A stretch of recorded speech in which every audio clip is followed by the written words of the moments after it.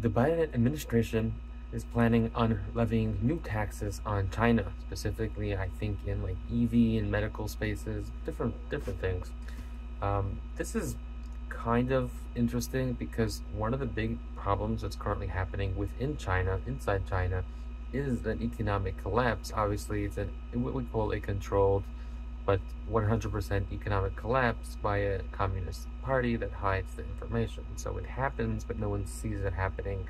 And then in like five to ten years, they wake up and be like, "Wow, our country has been completely destroyed," and many people flee that. That's how it kind of works, and we're seeing hundreds of thousands of Chinese nationals coming to the United States and other countries fleeing the economic hellscape that has become China for a huge swath of the population.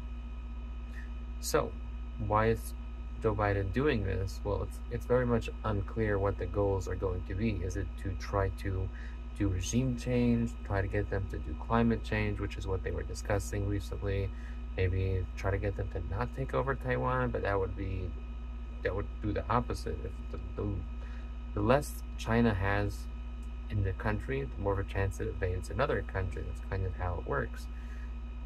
Economic incentives are your country is good, you don't want to invade. But if your country is bad, then of course you want to invade. There's no reason to stay at home.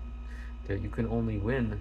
There's nothing really to lose anymore, which is currently what's happening to China. So I don't really understand. You know, I get it. They have to fight the Belt and the what's it called, the Belt and Road Initiative, that's taking place throughout the world.